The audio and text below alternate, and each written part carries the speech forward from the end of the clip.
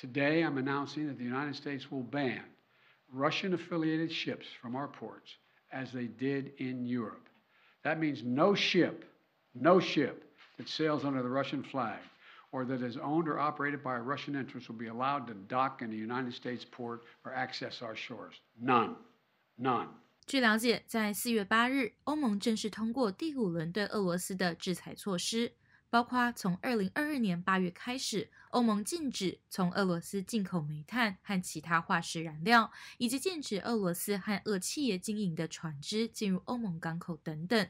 不到两周时间，美国也随即跟进制裁。东森新闻团队洛杉矶报道。